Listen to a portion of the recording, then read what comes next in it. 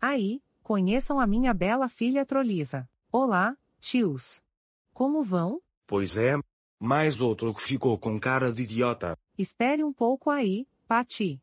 Essa sua filha mais parece uma vadia cinzenta. Bem, a minha filha teve uma melhora do DNA.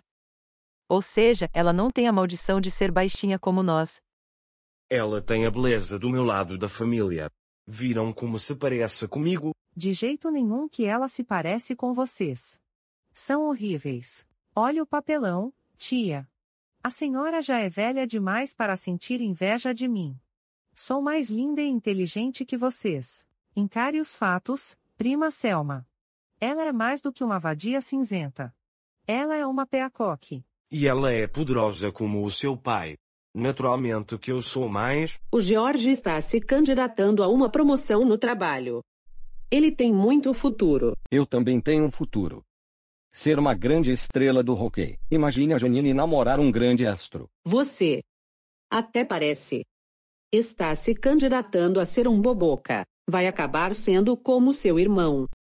Um boboca que faz favores absurdos pros outros. A senhora não poderia apoiar o George só um pouquinho. Talvez ela saiba algo que nós dois não sabemos. Veja, é aquele velhinho careca que mora na esquina.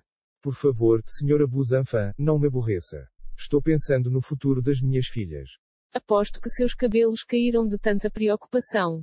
Isso é sério. Desconfio que o misterioso namorado da Godofredo é aquele homem peladão avantajado. Seja honesta, Dona Paula. Acha que aquele homem ainda é capaz de engravidar uma mulher, mesmo com a idade dele? Quem é que vai saber?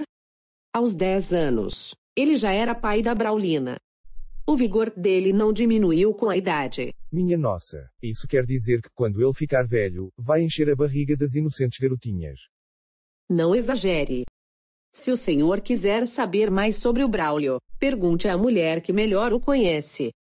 Ou seja, a mãe dele. Vamos lá. Preparar. Apontar. Vocês garotos estão praticando pontaria de novo? Puxa, como são nojentos. Mas que droga, Ju. Você estragou nossa concentração. E atiramos antes da hora. Não entendo por que os garotos da colônia nudista têm hábitos repulsivos que esse.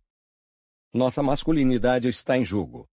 Precisamos vencer o campeão de tiro ao alvo a todo custo. Deve ser constrangedor os garotos serem derrotados por alguém que nem tem pinto. Tipo, a Braulina B. Não é justo. Ela é neta do maior atirador da história da colônia. O lendário Braulio Pintolongo. Nós precisamos vencer a Braulina.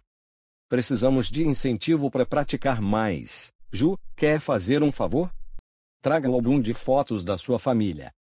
Aquele com várias fotos de sua mãe e avó.